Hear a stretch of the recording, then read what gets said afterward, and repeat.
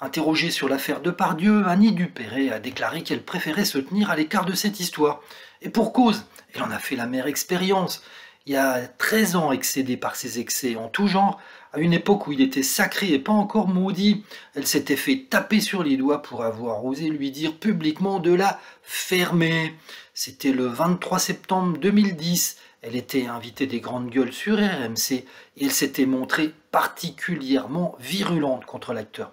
Elle avait dénoncé un homme qui se sentait tout permis, qui se croyait au-dessus de tout et qui adorait cracher dans la soupe. Elle avait ajouté, à partir d'un certain stade de notoriété ou d'ébriété, ça devient n'importe quoi.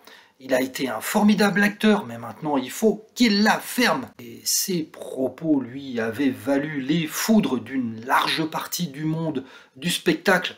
On m'était tombé dessus à bras raccourcis. Vous comprenez, je m'attaquais à un dieu du cinéma.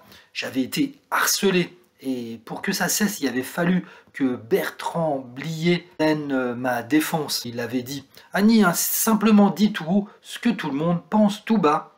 Et ça avait été difficile pour moi d'avoir pris la parole et d'avoir dénoncé le comportement de Gérard. Et pourquoi aujourd'hui je préfère prendre mes distances et ne pas mêler ma voix à ceux qui hier encore adulaient Dieu. Je préfère plaider l'apaisement. Gérard est hors circuit mentalement, il a pété les plombs depuis un bout de temps d'ailleurs, mais c'est pas une raison pour bannir tous ces films.